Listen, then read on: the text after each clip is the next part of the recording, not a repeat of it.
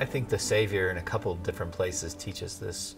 He teaches becoming the children of our Father in heaven, which I think goes along with Matthew 18. One of them is Matthew 5, where he talks about be therefore perfect.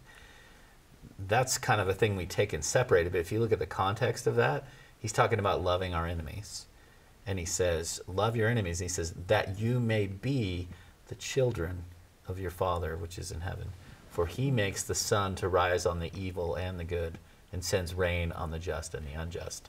And then he says a similar thing in Luke chapter 6. But love your enemies and do good and lend, hoping for nothing again, and your reward shall be great. And you shall be the children of the highest, for he is kind unto the unthankful and to the evil. Be therefore merciful as your Father also is merciful. So, this idea of being the children of heavenly parents is about becoming like them, about being loving in the kind of way and merciful in the kind of way that they are.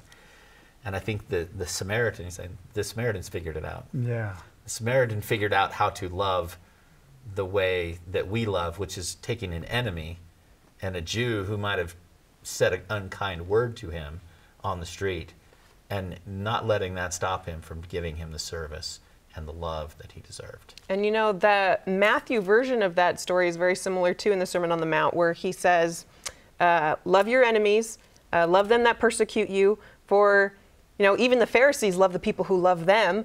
Uh, but if you want to be better, love your enemies.